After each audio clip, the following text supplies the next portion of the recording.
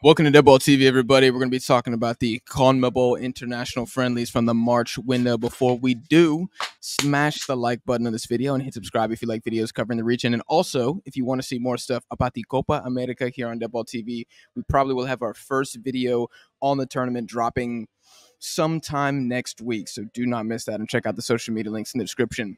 And a little intro topic. I asked Connor this uh, a few seconds ago, but I want to hear what the audience thinks let me know what fade I should get from an Argentine barber later today. Should I get the? Uh, I was thinking the DePaul braids, but Connor didn't like that idea. So, because you're doing know. too much. You're doing too much. You're doing too much. But you raise a valid point. Jack mentioned that my beloved Buenos Aires love extra. There's it's very yes. flamboyant over there. Every like what one in five, one in four people got blonde hair, dyed blonde hair. Mm-hmm. Doing too much is actually doing average in Argentina. Oh, I don't think. First of all, I don't think you got enough hair to do braids. God, you really want these braids. Second of all, does it have to be a fade? No, but the fades, I feel like they know what they're doing with fades here. Like everybody has a fade. Yeah. It'd be like all right, hear me out. You don't go to the steakhouse to get the fish. Yes. All right. Yeah. Word. Got it. Done. I could get the kuti, but it's a little too safe, a little too corporate. Maybe you should dye blonde. Should I go blonde?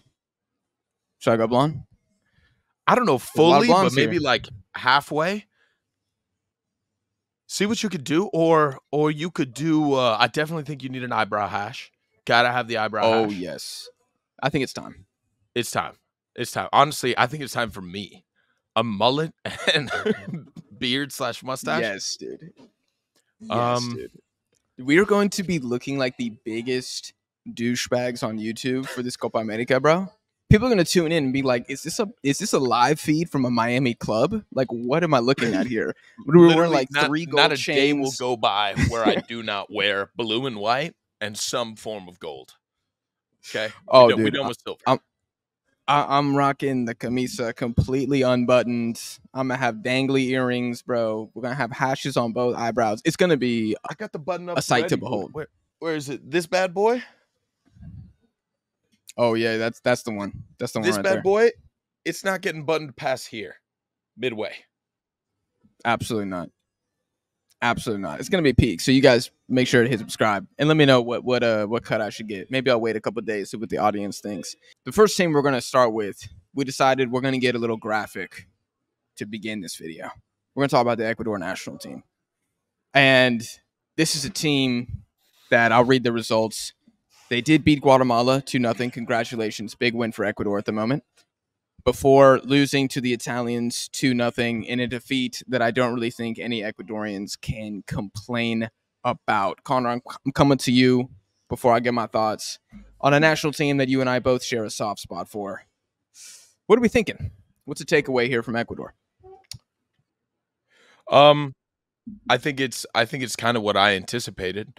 Uh, first of all, my my initial thoughts are I want to compare Ecuador to Colombia right? Because they went up against big European teams, right? I think that Italy's closest comparison should and can be, or can and should be Spain, right? Different play styles, obviously, different personnel, obviously, but I think that that's both tenured European talent, right? Which is mm-hmm. what we've been saying, what South American teams need to be going up against, right? That's just what we need to be focusing on. Now, how how Colombia got away with a 1 to 0 and Ecuador couldn't even score a goal on Italy. I think that speaks to the quality of the Italian team. I was unable to watch the Ecuador Italy mm. game, so this may be kind of a tennis match. I may be smacking it straight back to you. On paper, mm-hmm. the stats really don't look bad. 49% possession for Italy, 51% possession for Ecuador. The one big takeaway here, similar similar pass accuracy, right? The one big takeaway here is that Ecuador had 10 total shots and how many were on target? One shot Two? was on target. Yeah.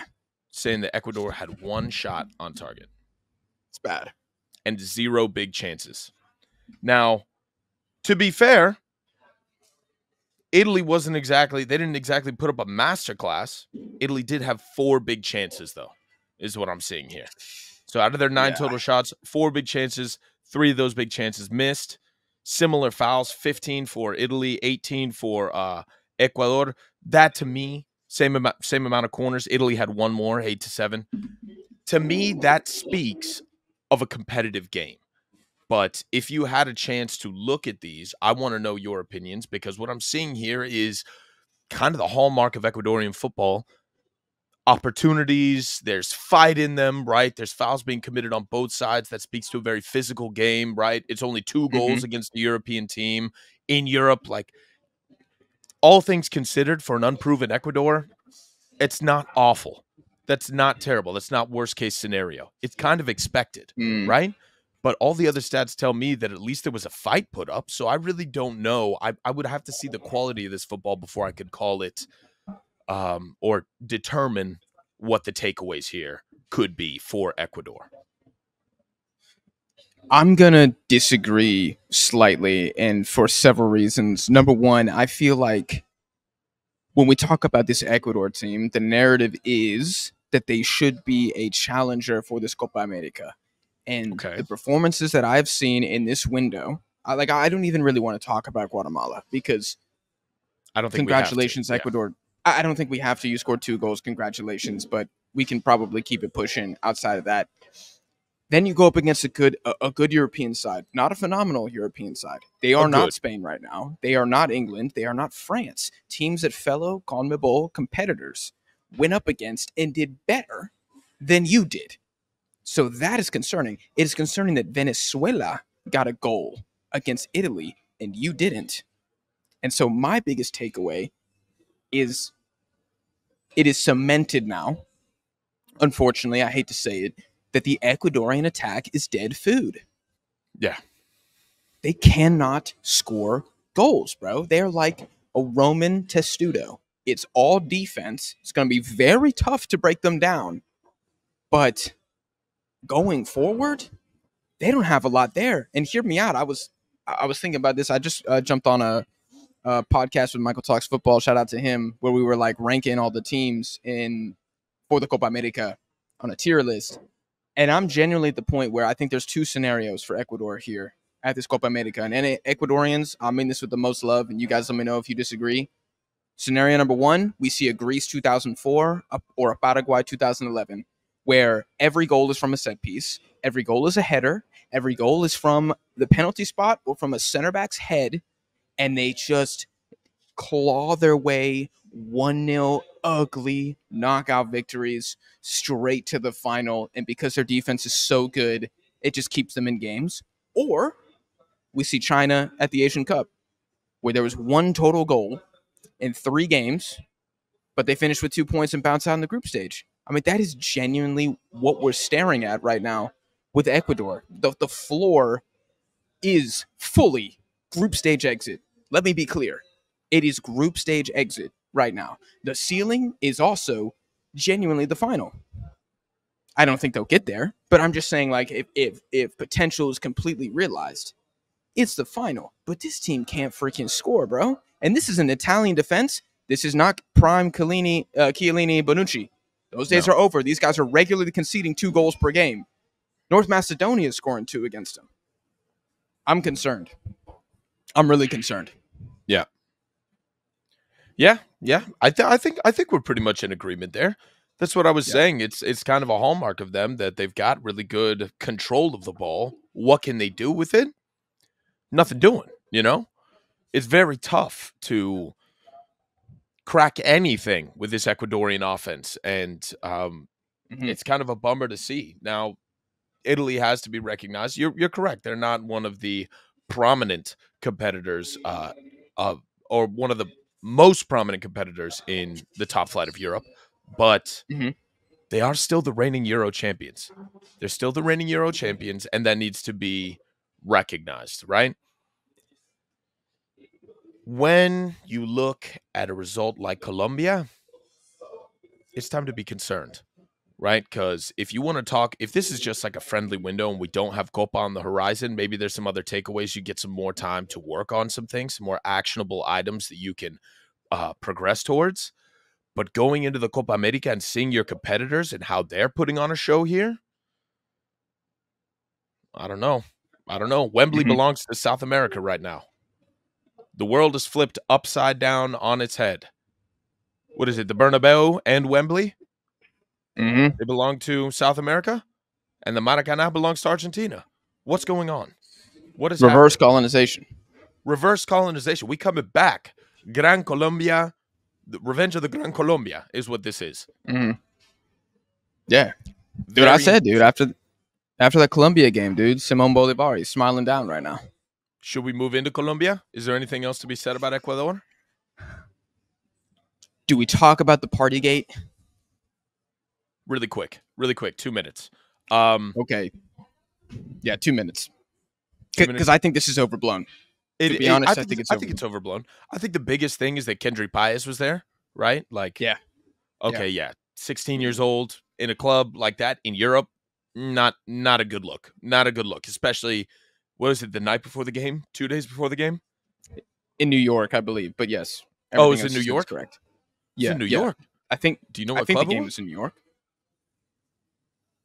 Papazul?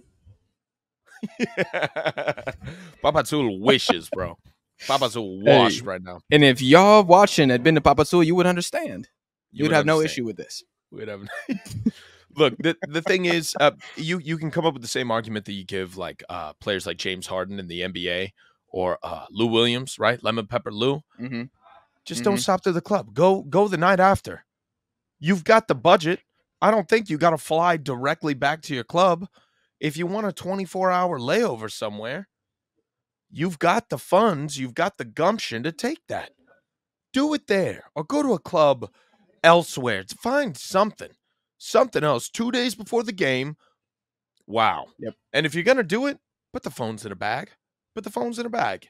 You don't need to be doing that. Put the phones in a bag Mm. because one of you idiots is going to send it to your friends, and one of your idiot friends is going to show their idiot friends to impress them. Look, my buddy Kendry over here, underage in the United States. Those are serious allegations here. Those are serious. Yeah. Yes. Just be careful. In are Ecuador? you doing? I'm not sure if it would be that big of a deal, also given the difference in the legal drinking age and everything like that. Like in South America, y'all, things are just a little relaxed here. Like that's just how it is. Okay.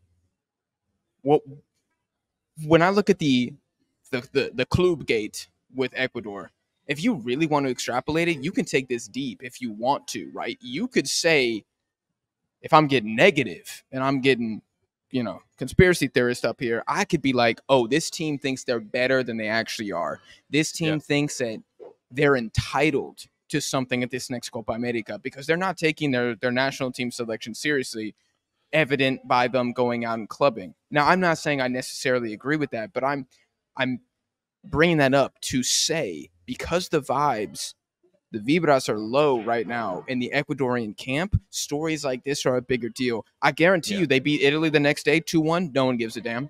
No one no gives, one a, damn. a damn. No, People celebrate it's because you lost. Yeah, Correct. it's because Correct. you lost. Correct. They say, "Oh, look, we. Oh my gosh, look at our team.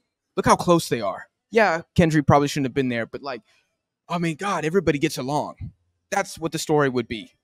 Correct. just be like, "Hey guys, ne- next time, don't don't bring Kendry. You know, bring Kendry in Quito. Don't don't bring him in in New York." In but New it's York, because of the result. Yeah. So yeah, I think I think it's a bit overblown. This will be one of those moments that if Ecuador, I guarantee you, calling it right now, if Ecuador do not make it out of the group or they lose that first knockout game, people will go back to this instance. Yeah. And they will say, "Oh, yep, this is when it this is the moment it all collapsed." No, it wasn't. No, it wasn't. We've It's been going to collapse because months. of tactics. Yeah. Yeah. Th- This one It shot collapsed- of vodka did not sink Ecuador. No, it collapsed the minute that you didn't lock down Gareca. That's when. Amen. Amen. Now, what a we talk- transition! Do we go to Chile or do we go to Colombia? Let's do- go to Chile, bro. Let's go to Let's- Chile, bro. Bro, let's go to Chile, bro. Can I say Uh huh. My biggest takeaway, bro. I'm Rip maybe it. being a little little hyperbolic here. Chile, Chile's back. I think that is a little hyperbolic. But Chile's back, dude. tell me more. Why? I think people are seriously underrating the impact that Gareca will eventually have. But even just in the short term, bro, I want people to understand that this Chilean side went toe to toe, band for band, Band for band. with a French team in Europe. they had a backline French team. including pr- pretty much the French team. Saliba and Konate, those are two Premier top center backs in the Premier League, and that Chilean attack was cutting through them at times. Yeah. I saw. I thought this was very telling. So there's a there's a YouTube channel here. I think it's called like Pasión para la, la Roja or something like Passion for the Reds. I don't know if it's a Chilean fan channel or it might be the FA. But the top comment on on that video, the highlight video, the the resumen, I think is how you say highlights. Do you know what it was? Hmm. It was somebody who said, "I haven't seen my Chile team play like this in a long time." Vamos Gareca, and it had like Vamos. thirteen hundred upvotes. And I saw that and I said, uh, "I said, oh we, oh the Peru in trouble now. You Peru in biggest- trouble now, bro." biggest loser from this takeaway, Vélez Sarsfield. Vélez Sarsfield, you weren't giving my man the backing, and that's why he looked washed. He gonna come up here and he's gonna take a a side who two months ago we were saying they were the most shambolic in South America, the biggest decline, the biggest losers. And you're gonna Mhm. come up here and you're gonna go toe to toe with Mbappe. You're gonna frustrate Mbappe. Mbappe was having Argentina flashbacks the whole time. Had Mhm. to have been. I mean, look at let me let me read you some of these stats. Both teams with 90% accurate passing. That's insane, by the way. passes, 606 passes and 92% accuracy from France. And 403 passes and 90% accuracy from Chile. We haven't seen those stats in a long time. But honestly, I want to go back and I want to see the last time that Chile had 400 passes just in a game, period. Because that's not the way they play. They've totally revamped At that clip, at that clip, no, no shot, no shot. Um, four corners from Chile, forcing errors in the French final third. I think that has to be said there, right? Um, and then nine shots with three on target. You've got a thirty percent like shot on target rate. That's that's solid. You're gonna get Mhm. nine shots off against France. That's unreal. That's unreal. it's Four shots on- unreal. No, dude. Un- unreal. Oh, excuse me. Excuse me. Shots off target three, four shots on target. Same as France. They're back, bro. They're back. They're back. Two blocked shots, Dude, and they hit the woodwork once. yes, I was about to say the game was didn't see that. 2 1. Eduardo Vargas, he is wide open six yards out, headers it off the woodwork. It would have made it 2 2 at that point. Wow. Do you do you Dude, they were this is cooking. do you think this is the French underestimating? And the Chileans, uh, or the Chileans just balling out, or a little bit of both.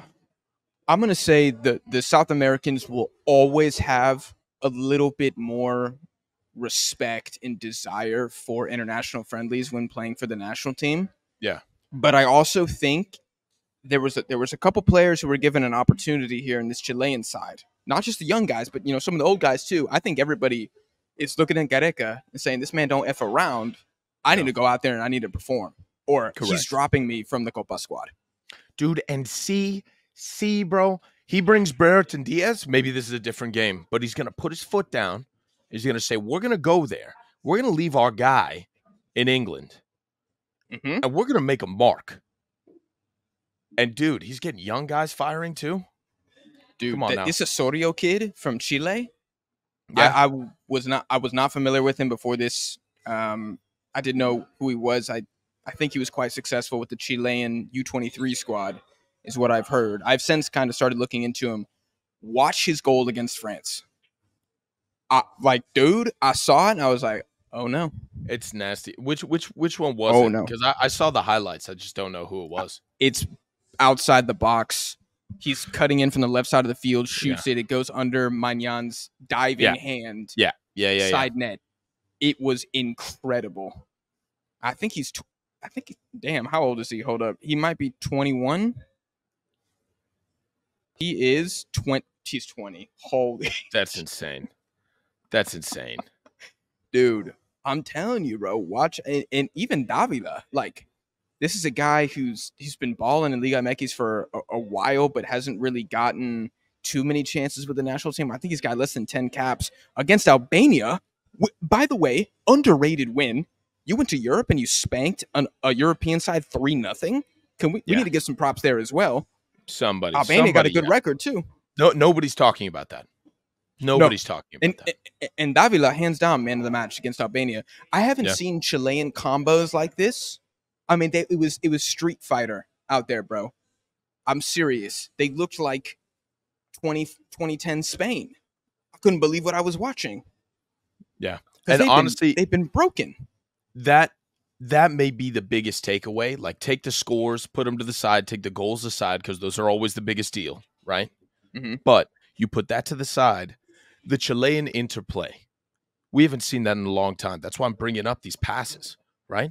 403 passes at a 90% clip. No shot. That's unreal. That's unreal. France. from against France and from Chile. No, you Yeah. expect that. You maybe you expect that from somebody like Uruguay with Bielsa now, or Brazil, or maybe even Colombia on their day. But dude, from Chile, no, no shot. I didn't expect that. Had no nothing like that. I was like, they're gonna bunker down. This is gonna be counterattacking football. It's gonna be like watching Venezuela play against like a South American giant. No, Yeah. no. You're going band for band, like you said, bar for bar with France. I don't care if Argentina's France. ranked number one by FIFA and Coca Cola and uh, you know the entire nation of Argentina. France is the best team in the world. France is the best team in the world on paper, on the field, in depth, all of it. We all know England can't get it together, so put that roster to the side. France is the best team in the world.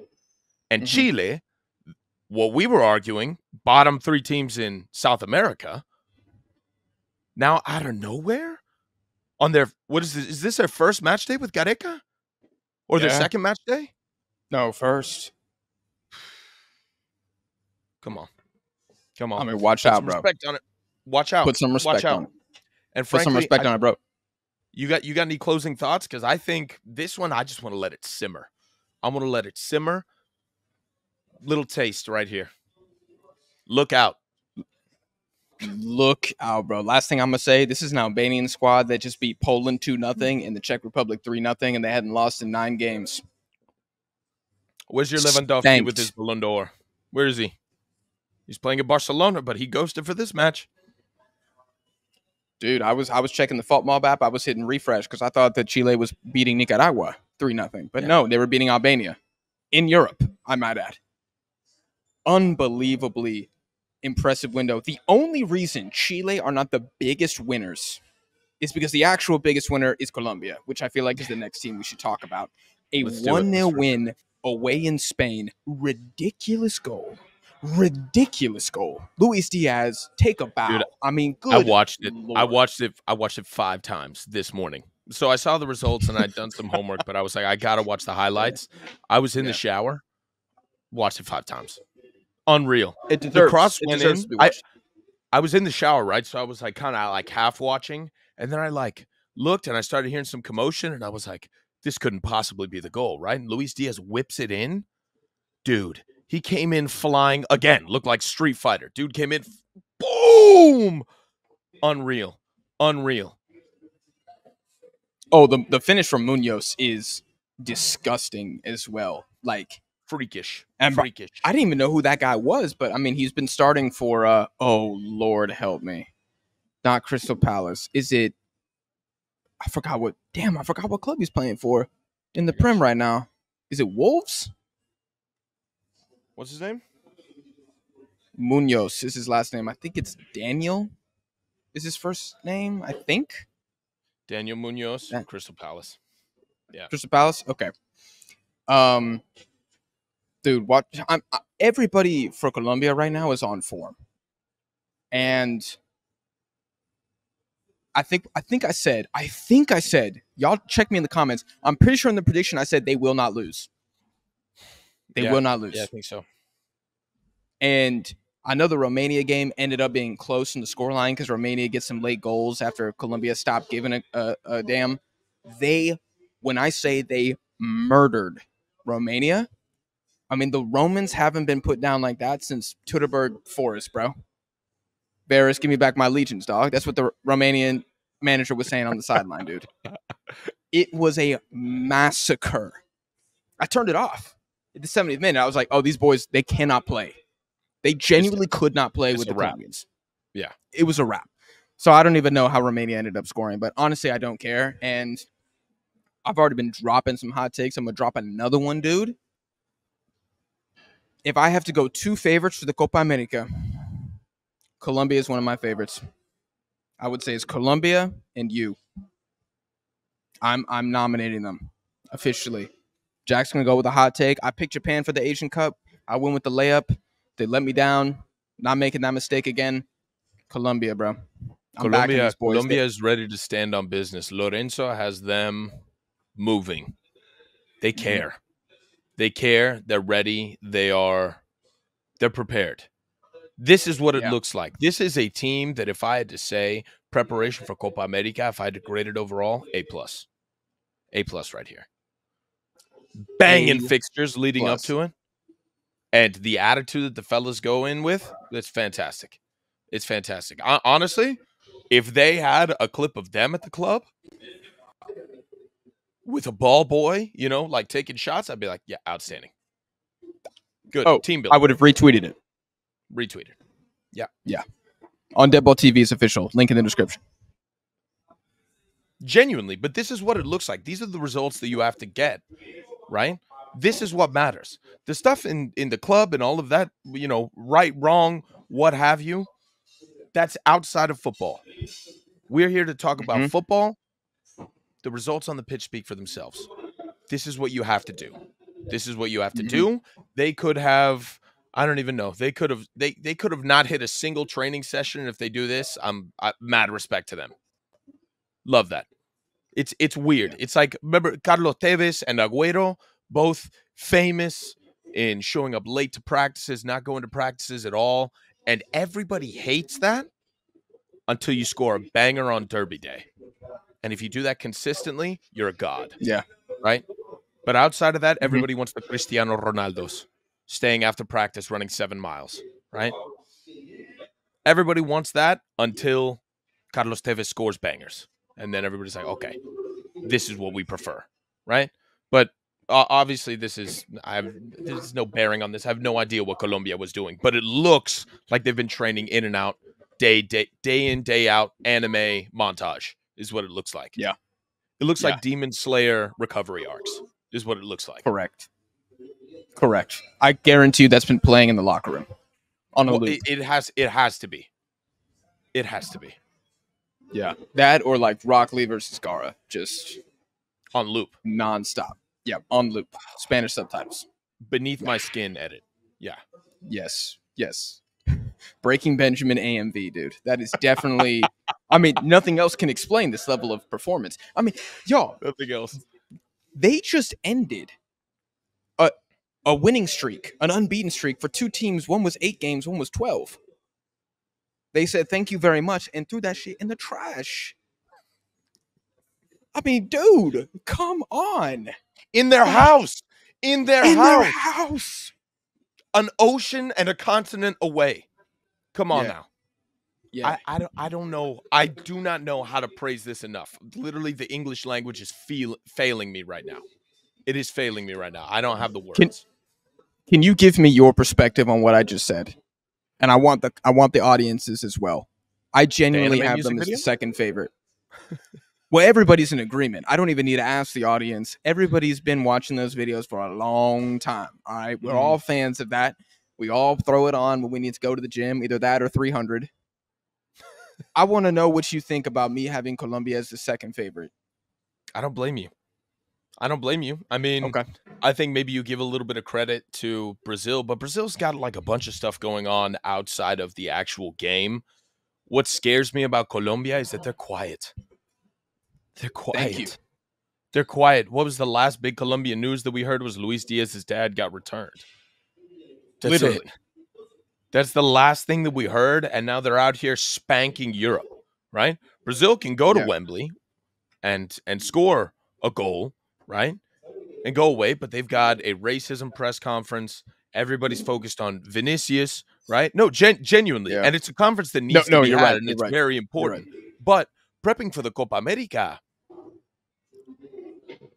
my job as a footballer, and I'm not saying that, you know, just shut up and dribble. I think that's ridiculous. But if I'm getting ready for the Copa America, everything else becomes secondary. I'm not worried about the situation in Spain. I'm worried about repping my flag and my badge, and I'm ready to show the world what Brazil is capable of, right? There's a lot of Mhm. stuff going on in the Brazilian zeitgeist, and they are still a threat. Do not get me wrong. There is, they have what the second highest chance to win the Copa America out of all the teams right now. Probably, if we're being honest, they could just decide to turn it on and they could be back. That's just Brazil, Correct. right? Correct. How likely is it that they do that? I don't know, but they're still one of the dominant forces. But there's a lot of stuff going on. Absolutely. What scares me about Colombia, I'll say it again, is the fact that they're quiet. They're quiet and they're working on themselves, right? It's like that that the stuff, the motivational crap that you see on Instagram. It's like, oh, you're doing this. Well, there's somebody out there working for what you want right now, and they're doing it harder than you. Mhm. Argentina's playing Central American teams they have no business playing for a paycheck, and Correct. Brazil is out here um, working on um, socio political issues in Spain. And I would say they're just hitting the reset too on a lot of stuff. Yeah, agreed, agreed. They're busy. Colombia busy. is quietly perfecting themselves. This is like, uh, dude. Let's let's bring it right back around to anime. Right, Frieza's waiting on Namek. Goku's Okay. in the spaceship training at hundred times gravity with weighted clothes on right now. He said, "Oh, I got some for yo ass." He said, "Kaioken 100, and I'm a bust out Super Saiyan." I've pushed myself to the limits. No telling what happens when games on the line, one to one against I don't even know who, against Brazil, against Uruguay, against Argentina. What happens when that star power kicks in? What happens when you're tired in the 90th minute and I remember that I beat that ass in Yep. Europe while you were over around over and, and dicking around in Central America? Yeah. I'm gonna stand on business. So mad respect to Colombia. A plus. Best, best preparation for Copa America, hands down. And you know what? Mhm. You know what? Same thing with Chile. We didn't hear jack about them. The last news that we heard was Nope. Brereton Diaz, and that dude, that blew away. That blew away like I don't even know. If you've been if you watch Dune, it blew away like spice on Arrakis. It was there and then it's not. Gone. What else have we heard? What else have we heard from that camp? Was there a response by Brereton? I don't know. I didn't hear anything because they're working on themselves. They're preparing. And they stood on business too. They stood on business Yeah. too. They had the French clutching their pearls. Literally. Literally. They're about to take some of that gold back to South America. They're taking it back. Come on now. And the last thing I'll say about Colombia, Mhm. because I feel like they deserve to be mentioned here, is Uruguay. To me, Colombia is Uruguay without a PR team. They don't have. The Colombia are weird, bro, because they don't have a star outside of Luis Diaz.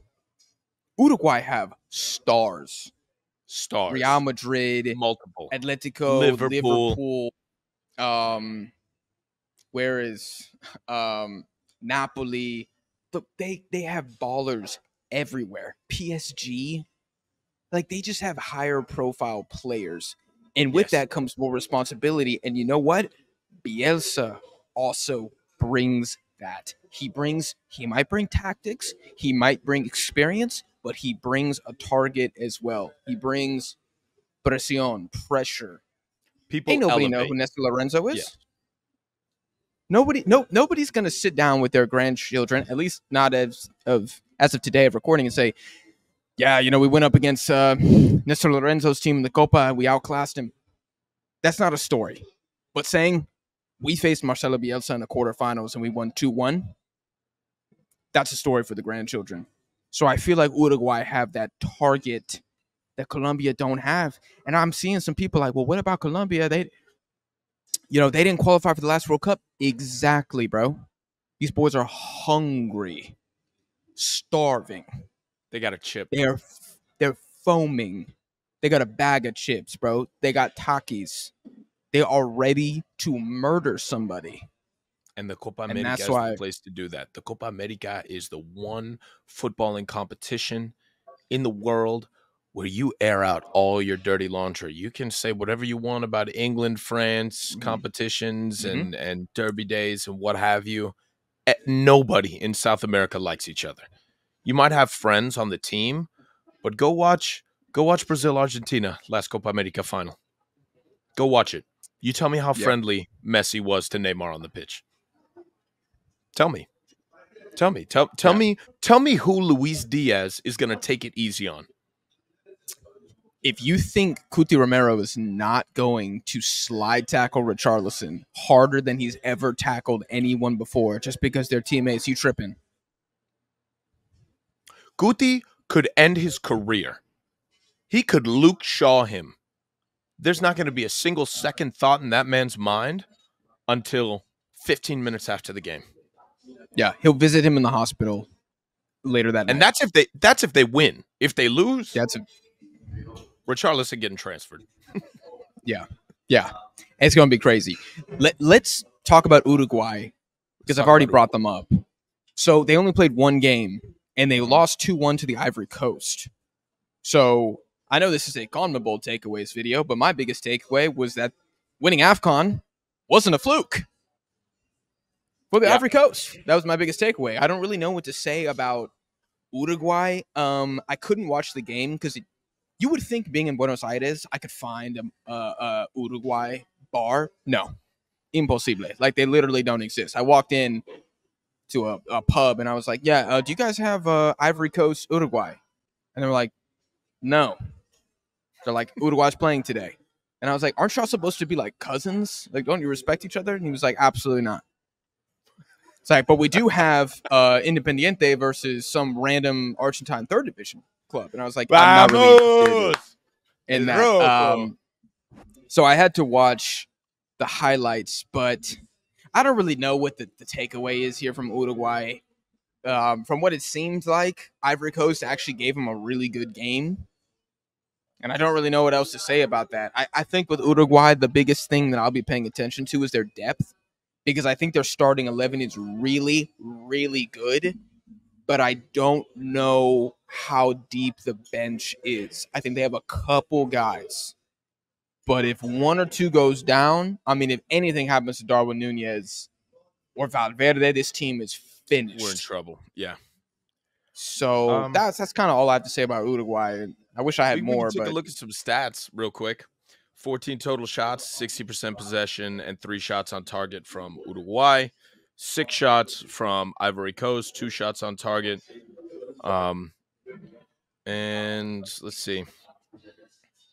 One the big goal that they conceded from- was a little sloppy. It was sloppy. Yeah, it's an own goal from Oliveira. He he kind of slips, so I kind of felt bad Yeah. for him. But yeah, it wasn't it wasn't great. It's a bummer.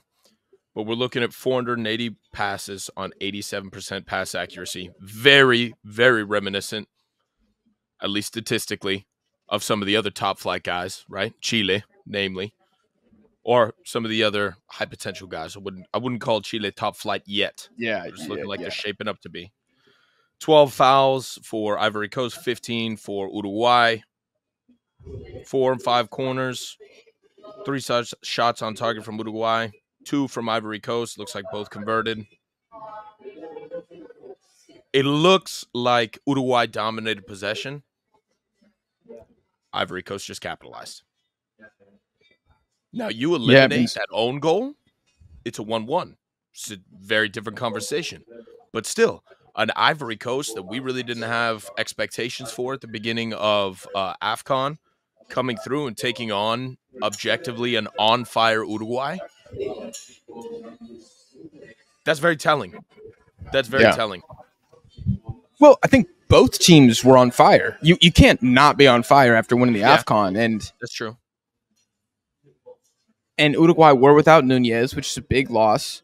I think this is just very complimentary, actually, to the Ivory Coast. And a little fun fact, you know, I like to drop these. This is Uruguay's first loss to an African opponent since Algeria in 2009. Wow. Wow. It's been a long time. You want another fun fact? This is Uruguay's second ever loss against an African team.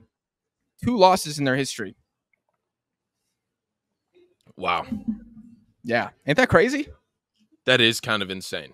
Did not expect you to say that. I don't think they have a ton of games. They probably have like 20 total. But yeah, they've Yeah. lost twice. That's impressive. Well, Fact check me. time to get back on the horse. Yeah. Bi- massive dub. Biggest winner from the CONMEBOL window is Africa. Uh, a team that definitely was a loser for very unfortunate circumstances is Paraguay, who had their game with Russia canceled because I believe there was a, a, shooting or something at a concert in Moscow, something terrible. Yeah. I don't want to talk about that. I mean, I'm sure there's news channels covering it. Dead Ball TV, we're gonna we're gonna swipe left on that story, but with Paraguay, they only had one friendly scheduled. It's now been canceled. As of recording, they have nothing scheduled before the Copa America starts, which means they have no additional reps until their opening match against Colombia at the Copa. It was already a big mountain to climb. They have Colombia and Brazil in the group, and I believe Costa Rica is the fourth team. Anything we need to say about Paraguay here? It's kind of hard to have a takeaway, but you got to think losing that that rep was a big deal against against an informed Russia. I might add that would have been a great game for them. They just beat Serbia four nothing. If Colombia is an A plus, then Paraguay is an F. You gotta have something. You gotta show me Yeah. something. This is looking like a quick group stage. It's looking like they're going to give away um, nine points for free. I think a win for them at the Copa America would be giving away what five to six. Mm, That would be a massive dub. A single win for Paraguay would be a massive dub at the Copa America. But right now, I think you're out. Oh, dude, let's not get it confused. I think that Paraguay Costa Rica game is going to be very competitive. Like, if you think Los Ticos are just going to roll over, Alfaro's got them looking good, dude. I mean, as good as he Yeah. can. They their defense is woeful, but I mean, he scored a goal against against y'all. That's a big deal. That is That's a big deal. big deal. So I'm just saying, any any Paraguayos out there, like, I'm not saying Costa Rica is going to win. I'm just saying, to your Give- point, yeah. getting a dub, that's that's going to be tough. It's going to be tough. Really going to be tough. So yeah, you, you could argue they're the biggest loser. I I still think it. Man, Well- Ecuador flirting with that though, yeah. Flirting with that. Biggest loser. At least they had Who's the games. At least they had reps, though. That's true. That's true. I just think the performance was a little disappointing. Um, Agreed. A team oh, that 100%. whose performance was not disappointing was Bolivia, Mhm. who actually went to Algeria and lost 3 2. So they did lose, but they lost on a 95th minute penalty. And I feel like that's pretty damn good. And then they went on and they beat, I think it was Andorra, was the team that they beat. Now, I'm not going to pretend like I watched either of these games. If you think, if Ivory Coast, Uruguay wasn't on TV, if you think Bolivia, Algeria was, I think you're giving the Argentine pubs too much credit. They don't broadcast those games. It was Andorra. But I think this is pretty damn solid for Bolivia. Does it give them any hope for the Copa? No. It doesn't. I hate to say it. But the fact that their FA is able to, the fact that their FA is able to organize two games, better than Paraguay, better Yeah. than Paraguay. I think it gives them the edge. Yes, against a, a top African team and a European team, albeit a terrible European team. But if Bolivia are doing that, and you have other federations in CONMEBOL, Dominican Republic, El Salvador, let's just take it straight to Peru. I mean, what the hell is going on here? And I have to say, fun fact, another fun fact. Paolo Guerrero scored for Peru during this break. That was his first goal for Peru since the 2019 Copa America final. So it had been a while. To be fair, he did retire and then come back. But with Peru, biggest thing for me, I think, is it looks like they are going to go with a 3 5 2 at the Copa America. I'm not completely sure how that's going to pan out. I think given how Chile look and even even Canada just having star power, you have to think Peru are third best in the group. Yeah. And maybe I'm hating. Maybe I'm hating because I, I just I don't want to get my hopes up for this team. But you got outshot at home by the Dominican Republic. I know you won the game 4-1. I know you won, won the game 4-1. You were clinical, but you got outshot uh, at, at home. Regardless of context, audience, can we agree? Chat, let me know. Can we agree? Regardless of context, you never want to hear that your national team was outshot by Dominican Republic at home. Can you imagine if Argentina was outshot at the Bombonera by the Dominican Republic? Riots. Riots. Riots. Yeah. Th- that to me, I just saw that. I said, all right, I'm out. I'm out, mate. I'm already done. Selling. Yeah. I can't I can't I can't get invested in this team. I can't do No. it. I'm following Gareca. Yeah. Shout out to Peru. Shout out to Peruvians. Give us some bright lights, some spotlights. If you wanna if you wanna argue this, that's fine. Six goals in uh in your two two games, fantastic, but let's look at the competition here. I'm gonna I'm gonna argue the same thing for Argentina. But we know Argentina's a good team. I think we still know Yeah. that Peru is a bad team. This doesn't change anything. Just like it doesn't change anything for Argentina. It doesn't make them better or worse. Smooth sailing. I like that you know how to score goals now. You remembered. But six goals against Nicaragua, Dominican Republic, that translates to one goal in the Copa America? Maybe two? Uh oh, two I is don't- way too much. I don't think they scored two in the same game. Mm-mm. No, may, maybe Canada just because they can be a bit open, but Maybe. I think Canada's going to have more possession than them, though. I mean, dude, these are these are dog water Concacaf teams. Dog water. Dog Yeah. water. Dominican Like- Republic, they're playing baseball the entire time. Dude, Haiti are better than Eh, they- they might as well have scheduled Haiti and Curacao, and it would have been a better window. I'm not even kidding. I think I said El Salvador or earlier on in the video, but yes, thanks for correcting. Where's, me. where's my boy. Guadalupe? Where's Guadalupe? Get Somebody hit here, up bro. Guadalupe. Yeah, They're going to run against you. If you at least want to get some cardio in, get them in there. But the Dominican Yeah, you- Republic, all they do is base running. What's going on? yeah. Shout out to all my Junior- Dominicans. They saw that Junior Firpo committed, and they were like, "I guess the Dominican Republic is back. Let's get these guys in here to Lima for a couple of games." It's just, it's absolutely dire. Uh, to end it on a positive note with Peru, though, this was their first back-to-back victory since September 2022, when they beat El Salvador 4-1 and Paraguay 1-0. So it is good to get some Wow. wins on the board. Yes, you need that. Yes. You, you can't say this was a bad window for Peru. I still think getting outshot. I mean, good lord, man. Like the Dominican Republic. They can't even make the Gold Cup and you're getting outshot at home. I know I feel like it probably seems like I'm bullying, I'm picking on one stat and extrapolating, but it is inexcusable. Cannot happen. If Canada got outshot at home against the Dominican Republic, massive failure much less Peru. Like it's just, mm, mm, mm. it's Depressing. peak. It's, It's peak. absolutely peak. Let's talk about the Venezuelans very quickly. Probably would have been a natural transition to go from Ecuador to Venezuela, but here at Apple TV, we never do things like that. So they Gotta lost to guessing. Italy. Got to keep you guessing. Yeah, I mean, next we're gonna we're actually gonna go to Japan. That's the next team we're talking about. Yeah, yeah, yeah. We're going to assess the North Korea game.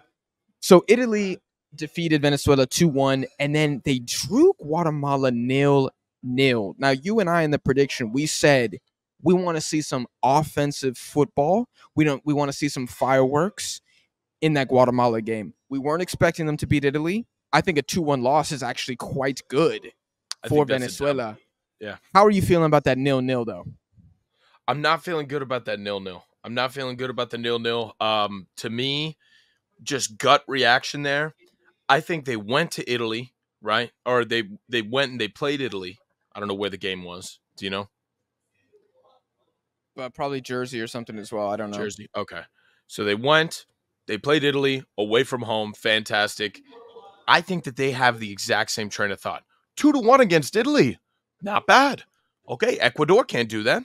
Or Ecuador, Ecuador. We're on the same page here. Okay. Yep. We're competitive in Copa America. Now let's go. Let's get our confidence back. Let's get back into the rhythm against Guatemala. They took the foot off the gas. Guatemala took that opportunity to step up to the plate. Lo and behold, you got a zero to zero. We needed fireworks. Your best attribute is your knife's edge. You have the capability for some fireworks on offense. You got to be training that. You got to be doing something fancy. Do something fancy here because in the Copa, they're not going to let you.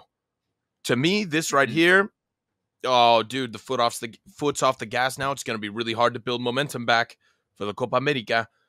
I don't know how good you're going to look now. This is weird. This is weird. This is like a little hezzy step. I don't know how momentum's going to get built again. Um, I don't think we're hitting the panic button or anything like that. Obviously, that they can put up a fight like they did against Italy, and maybe this is a good vibe check for them, right? They've got the monkey off their Yeah. shoulder. Okay, but it's time, right? Now they're gonna se tiene que poner bola to go play hard now, and maybe this will be their wake up call.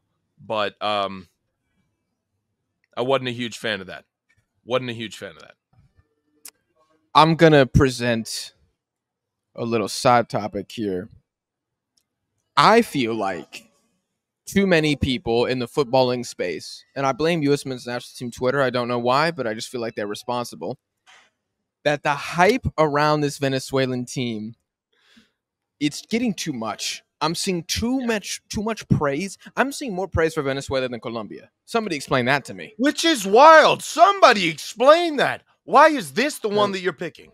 Why is this the team that everybody's freaking out about? Why? I don't know.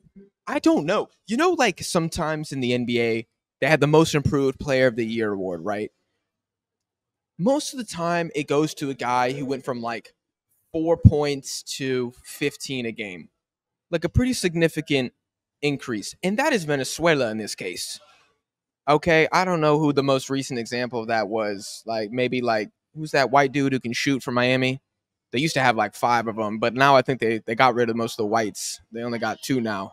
It's not Tyler Herro, Duncan Robinson. I feel like it was like a Duncan Robinson I type know the thing. name. Could never have told you that, but I recognize. But sometimes I've always felt like, well, should the most improved really go to the player who was ass cheeks and is now solid, or should it go from the guy who was solid and is now an all star? Because that is Colombia. They went from solid to second team All NBA, first team All NBA, maybe even third if you want to you want to call it like that. To me, that's the most improved player because your ceiling was high, or excuse me, your floor was higher, so you didn't have as much space to improve, and you still jumped up. Yeah.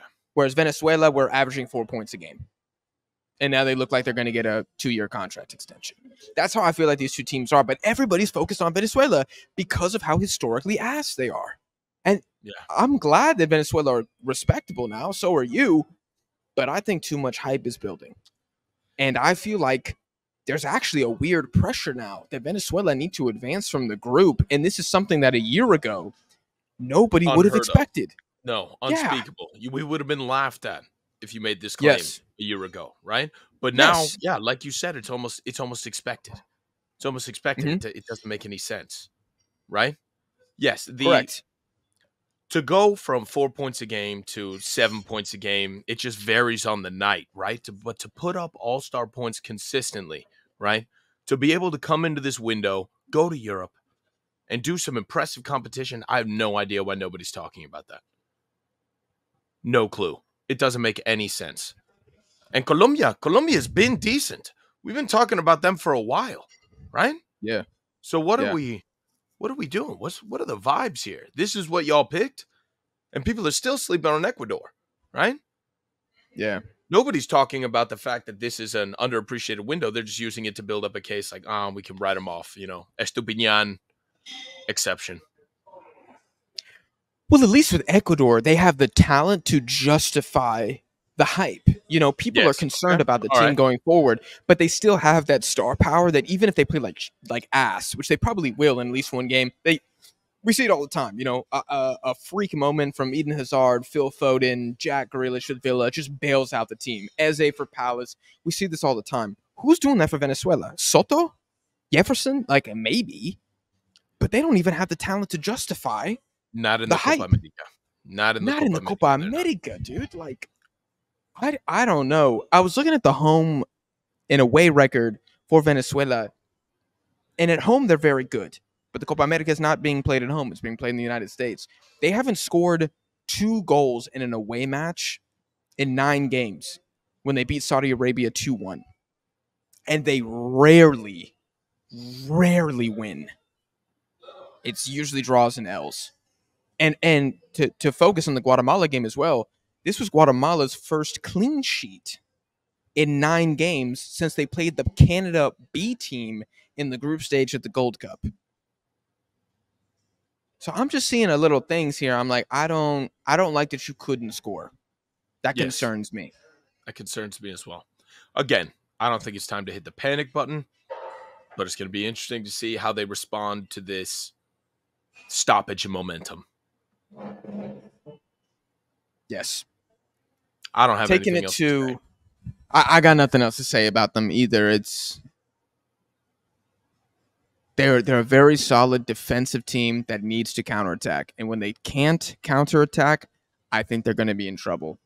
Now, Brazil is a very interesting subject. We're leaving the two two big boys for last year, Brazil and Argentina.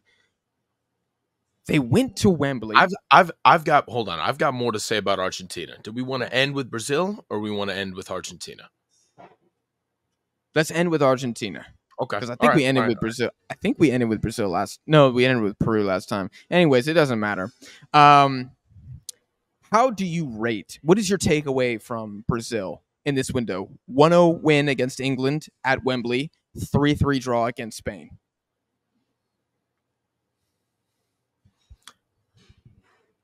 I don't think we need to make any sweeping assumptions here. I'm, I'm obviously more impassioned about a lot of the other results.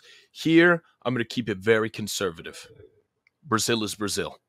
They're still Brazil. We can see that they can put on performances like Brazil. To go to Wembley and do something is big. Mm-hmm. To compete against a Gareth Southgate side,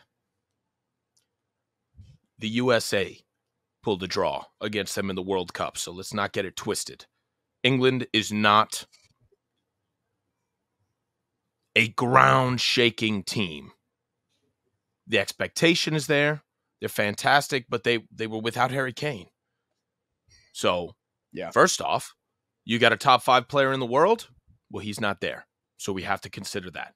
Now Brazil's without Neymar, but the argument can be made Brazil plays better without Neymar, right? So, all of these things taken into consideration, a 1 0 win in Wembley is great. I would be a lot more hyped for it if England was the powerhouse that they are made out to be. If that happened, Brazil's back for me. But right now, I think that England team is very beatable. What, your most electric player is Jude Bellingham? Very good player. Very good player. He's not Harry Kane. Him or Foden. Him or Foden. Yeah. Him or Foden? Yeah. If you're talking electric, yeah. I mean, He's not Harry Kane. fast. Yeah. Okay. But you see what I'm saying here? Like, there's a lot of intangibles that we have to take into account with this stuff. I'm very happy for Brazil. I was a Brazilian fan when they beat England, for sure. In Wembley, let's do it. Stick it to them. I'm here for it. But a beatable England side. Now, Spain three to three. That I'm a lot more interested in. This is a dogfight. This is a Mhm. dogfight. both teams ready, raring to go. That's the competition that we need to see. Yep. That's what we And- need and to I- do. I want to add, I want to be very clear about this as well. Both penalties that Spain were awarded, total bullshit. Yeah. Neither of those were penalties. Horrible refereeing. Go, dude, go back and watch them. Listen to the English commentary, listen to the Spanish commentary. They're both like, no, like that, surely this is not getting called. And then they did it again later on in the game. So I actually think Brazil outplayed Spain. They, they fully deserved to win that game. The, the Dani Olmo goal is beautiful. The Spain second goal, beautiful. Uh, Lamine Yamal, his his dribble that draws the completely phantom pen is amazing. But on the whole, I thought Brazil were better against Spain than they were against England for sure. And 3 3 flatters Spain.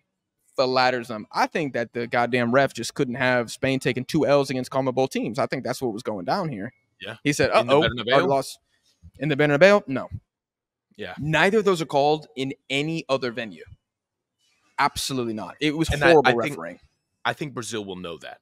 I think Brazil will know that. Um, notes to take away from Spain Brazil. I don't think Brazil has any. I think they said we came here. We got a win in Wembley. We should have had a win here. Rodri, best six in the world, happens to drain two penalties. It is what it is. I think they go to Copa America confident here. And I think we need to watch out because Brazil is still Mhm. Brazil. Does this change my thought process around them? Do I think that they're back? Do I think that they're the clear favorites? No, no. But I think this is a nice reminder that even a bad Brazil is capable of going to Europe and playing with the big boys. Don't sleep on Okay. Copa America. Don't sleep on South America. Because this No, is this is what it is. Chile is scaring the hell out of France, and Spain's got to get two penalties awarded to them. Shoot, Italy might win it again. Italy might win it again.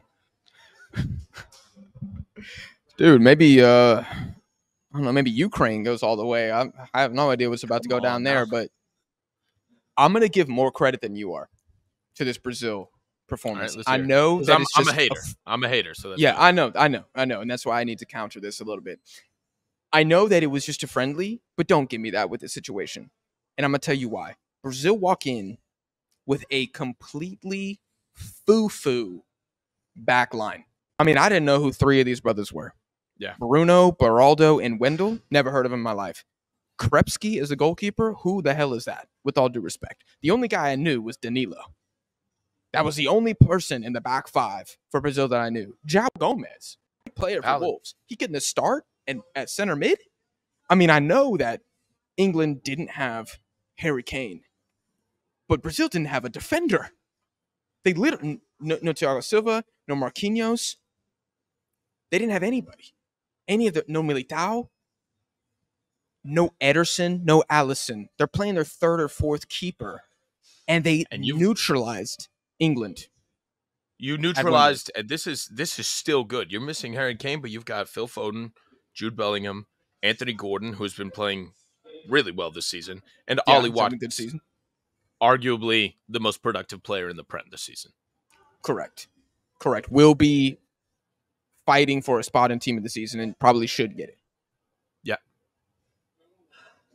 And England had a couple, a couple half chances, but they were really frustrated. And I think that's big, man. And again, uh, following it up with how they played against Spain, I think that's big. And you know what? Endrick needs to be mentioned in this video. Yeah. Two goals in his debut. Well, not in his debut game, but in his debut window with Brazil. He's got two goals. How many goals do you think Vinicius Jr. has for Brazil in 28 games? Six. How many goals do you think Rodrigo has in 22 games for Four. Brazil? Okay. Rodrigo has five. He's got five and 22. Vinicius has three goals in Come 28 Oh, matches. God! One, I'm a god, and two, Vinicius next up. Hold on, everybody. Pause. Hold on. Everybody No, look, both both phenomenal players. Let's not let's nobody nobody freak out here. Not taking No, no, away no, from no. But in a debut window in enemy territory in two of the biggest stadiums in Europe. What, you're missing what, maybe uh Oh my god, maybe Liverpool's home stadium? What is that? Um Anfield. oh my Anfield. Thank you God. You're missing Anfield? Those are probably two of the most intimidating stadiums in Europe. Full stop. Period. Yes. And how old is these he? are not. Ah, Dude, I, is he 18, 17? 18? I don't know. I 18? mean, he, he's. Is he 18? I'll look it up Confirmed? right. Yeah, I'm pulling it up right now. He is 17. Good lord. And, and these are not debut goals against the Dominican Republic and Nicaragua. No. You scored against England and Spain your first two goals. Has any player had the first two goals against a higher level of opposition? I don't think so. That's insane. It did, you cannot score against better national teams right now. I mean, the only thing better would have been England, Argentina. That probably would have been like the only, or France, Argentina. But I mean, this is still pretty damn good. And I'm just saying, I, I'm highlighting the stats from Vinicius and Rodrigo, not to say that they're washed, even though y'all did try to tell me Vinicius was clear of Son, which is just embarrassing. Imagine Son having three goals in 28 games for South Korea. He would never. Couldn't be him. I'm pretty sure. I'm pretty sure Kim Young-gwon is a center back, and I think he has a better clip than that uh, for Korea. So all those Vinny stands, I need you to sit down, just take a seat in the back, chill for a little bit. What I'm saying is like, what do they say in Spanish? Like la camisa pesa, like the shirt weighs. Oh yeah. It's like heavy. The Brazilian shirt can be very. It literally broke Richarlison, which we don't need to get into in this video. I feel like that's probably a better for a clips episode, but it's literally broken people. And we see guys coming in for Brazil, and outside of Neymar, who, who usually balls out, in the attack, everybody else like forgets how to play football. Like Rafinha is terrible. Yeah. He should he should not be starting for Brazil. No. And no, Endrick comes in 17, not a single frick given, bags a goal in both games. That is what stands out to me. And if I'm the manager and I want to prove that I got some big huevos, I might start that guy at the Copa. Because I think the first game is Costa Rica. Why not? Why not? Why not? What have you got to lose there? Rip. it. I, I would. yeah. I would. I'd put. I put Endrick in. One, that's fun. Two, it sells tickets, and three, he's evidently less of a liability than Rafinha at the very least, if not a significant upgrade. Right? Mhm. What are we doing? Yes. Stand on business. It's worse. time. It cannot be worse. Thank you. Stand on business. Earn your salary. I hate when managers don't earn their salary. Go in there, bro, and, and do something. Nobody, nobody hired you to be manager of Brazil to be safe. Just remember that. Nobody hired you to be safe. They wanted safe. They probably would have hired Tata Martino. They wanted safe. They don't want safe. They want electricity. They want samba. Yeah. They want Give, samba. give the people what they want. Give the people what they want. Make us Now- fall in love with football again. Yes. And the way that they were playing in these two games, I think they're on the right track. Argentina, 3 0 win against El Salvador, 3 1 win against Costa Rica. I watched the whole Costa Rica game. I didn't get to catch much of the first one, but I did see the highlights. You guys outshot these teams 47 to 9, 27 to 4 shots on target in favor of Argentina. I don't think I've ever seen a number that big in two games. 27 shots on target in two games. Like, what are we even doing, bro? And I feel like that's the biggest takeaway is like, you playing some minnows, dog. Go off, though. I know these this, these are your people. Go off. What you got to say about this? These are my people, and I'm very concerned. I'm very concerned that we're over here playing patty cake with Central America while the Brazilians are off doing God's work, and Colombia seems to be what? Yeah, hyperbolic time chamber preparing for sell. Like it. I'm I'm a little concerned, and the Argentines, they look unbothered. They look unbothered. Now we're playing good football. It looks great, but Mhm. let's not forget that we won the Copa America by the skin of our teeth. We won the World Cup by the skin of our teeth. We should be building on this stuff, right? We should be building. Don't hold out for that massive payday from Spain because Chiqui Tapia's fat ass wants a new sailboat to cruise down the Platense. Mm. You cannot lose a game against Africa and a game against Spain. I don't remember if it was Spain or Italy because you're asking for too much money. It was Spain. Could have Yeah. been you. Could have been you. We needed that. We needed that. You did. But now we got a temperature check against some fifth graders. That's like you playing soccer over there in Argentina right now, training. Then I'm like, um, I got a game against Jack next week. I'm good playing against the middle schoolers. I should be fine. Yeah, I had some ball handles. Yeah, I pushed a couple of them over. I, I scored a couple goals. I'm ready. No, I haven't hit cardio all week. This is concerning. And I bet you Scaloni was like, mm. Scaloni didn't like that. The fellas had a good time, but we're without Messi, which is nice. It's good to see that Yeah. we can play without Messi. But again, we're, we're we're taking a step down here. And the Copa America is not going to be friendly. So I'll tell you what, it's good to see the boys. I'm happy to see the fellas get a couple dubs. I expected nothing less. It's good to see Garnacho get some reps. Not going to lie. It was a very new look for the Argentina selección, um, at least in the squad selection. Overall, very cool. I like that. But baby steps before the Copa America. This is your last tournament with Messi and Di Maria. And probably Otamendi. And Armani. We need a reality check. We're going to need another Saudi Arabia in the group stage to kick our ass to remind us who we are and what we are capable of because that right there was not an accurate pulse check.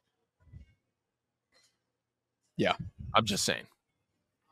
No, dude, you're spot on. You're spot on. And the fact that your final tune up friendly is also against Guatemala, while you have Colombia and Brazil and Uruguay playing the US and Mexico. And let's not pretend like Mexico are great, but they're going. We hate you guys.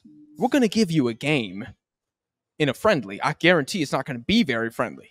I'm not No. saying we're still going to lose 3 nothing, but that's going to be better preparation than Guatemala, El Salvador, and the Costa Rican U23 team.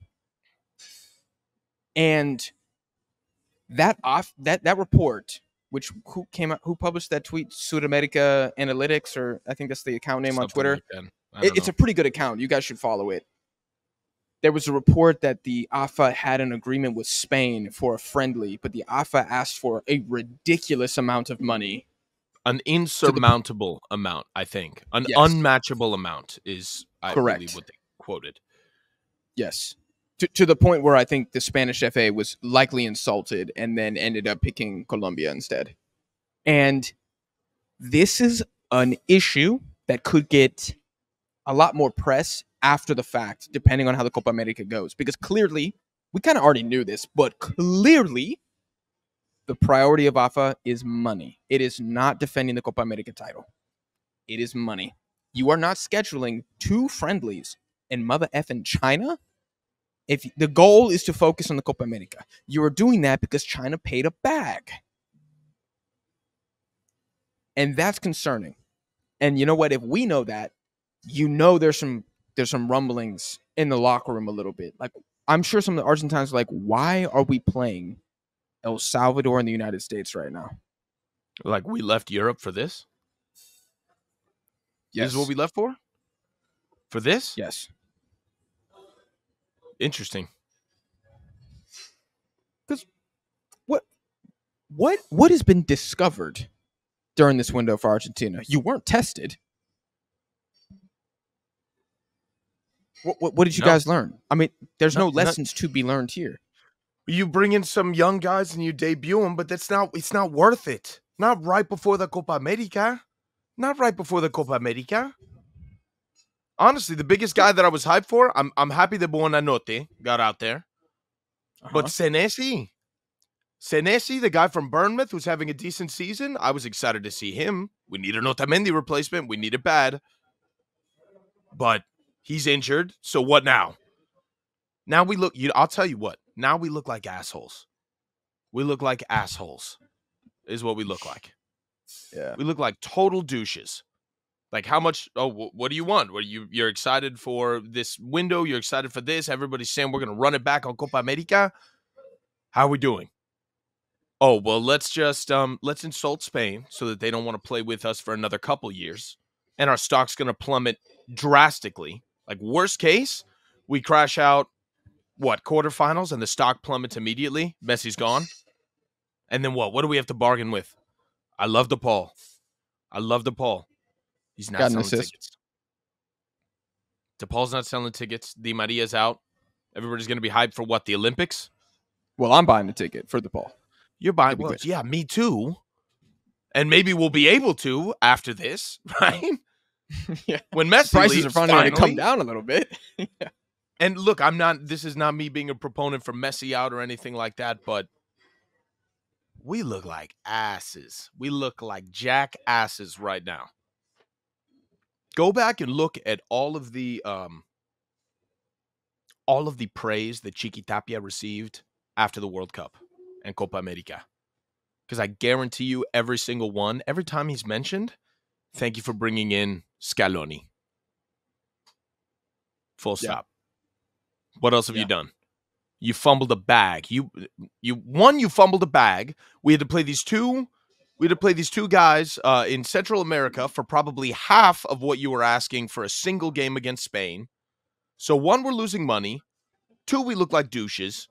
Three, no training, no competition before the Copa. yeah. I'm looking at Brazil and I'm I'm a little worried right now. I still think we're a better team, and I think we'll put up a dog fight against them. But they can always win, just like we can always win against them. We have to keep the boot on the throat against them. Keep them in the cage. Do not let them out. This is not the reps that we need. Not the reps that we No. need.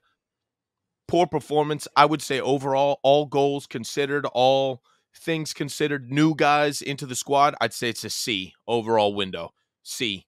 Flat, bang average. You have not changed. You have done nothing. Boom. Mediocre. You want a passing grade? That's only because you scored six. And because I got to see Di Maria in a captain's armband and we played without Messi. Okay. Decent takeaways. Mediocre. Mediocre overall. Yeah. I want to play Spain.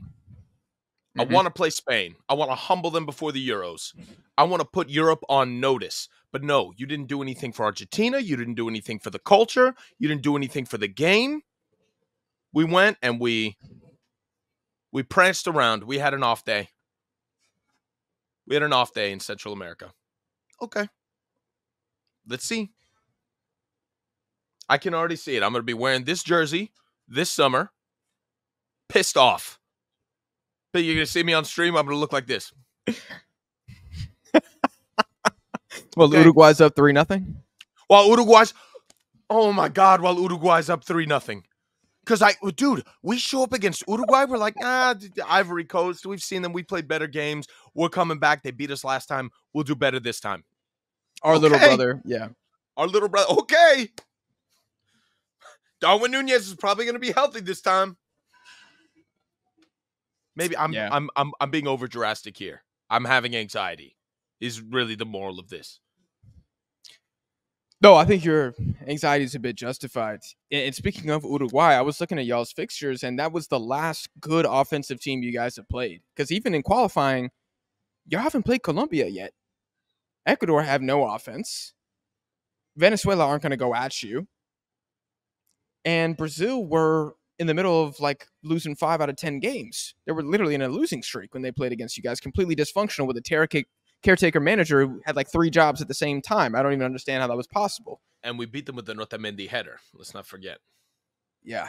It was not a great game of football. That was an ugly ass game, Which they usually are. So we have to prep which they that. usually are. But Yes. you want to see something better. Yeah. And Uruguay does not have the depth to compete with us. First of No, all, they don't. let's just let's just take that right off the bat. Every single one of our players outside of like Lo Celso and Tagliafico, and what maybe some of the fullbacks, all stars. Everybody else is making waves, headlines, starting. Their team relies on them. But we're going to lose against, we're going to let Uruguay punch us in the mouth? No. Our personality, the reason that we won two trophies back, three trophies back to back is because we we came in as the underdogs. I'm very scared that we think we're top dogs now. I need the DePaul. I'm glad he took out the braids. I'm not gonna lie. I want a buzz cut. I want a clean buzz cut. You leave the fancy hair to Mm. Emmy. Show up ready to to stand on business. That's a big ask That is a big ask. for the ball. I'm gonna send a message to Thini right now to slide in his DMs. And be like, listen, querido, we need you. Not I, Argentina. Do it for us. Do it for us. And he's gonna be like, I I, mean, I miss thi- Yes, and then he's going to send something hella toxic back. Um. Who's this? yeah, after leaving it on red for a full 48 hours, I might add. Um, Yeah. yeah. I I don't know, dude. We'll see. I feel like y'all have been doing victory laps. This is like your fifth victory lap since winning the World Cup, and I, I do think the preparation is a little bit of an issue. Um, I guess we'll talk more about this when we do our CONMEBOL preview for the pre-Copa America friendlies, um, as well as guys, like I said, tons of content about the Copa America. Like we're going to be doing videos analyzing the groups. We're going to be videos doing videos about like you know hot takes, predictions, team by team analysis. We're going to try to get as many guests on as we can who support like other nations to kind of get them to provide a little more insight, a little more you know sentimental analysis than what we can offer uh, about some of these teams. And it's going to be a lot, and y'all are going to love it. We're going to do live streams as often as possible. It's really going to be uh, pedal to the goddamn metal this summer for the Copa and leading up to that very, very soon. Um, if you guys enjoyed this video, make sure you leave a like. If you're listening on streaming platforms, give the podcast a five star rating. We have about three and a half weeks to get to 100 reviews before my birthday. That is the goal. I think we were in the 80s last time I checked. So we're getting there. We're getting there. Some of y'all are dropping reviews. Just need a few more. Hit up your grandma, your girlfriend, your cousin, all that good stuff. Y'all are awesome. We appreciate you for watching or listening, and we'll see y'all in the next episode.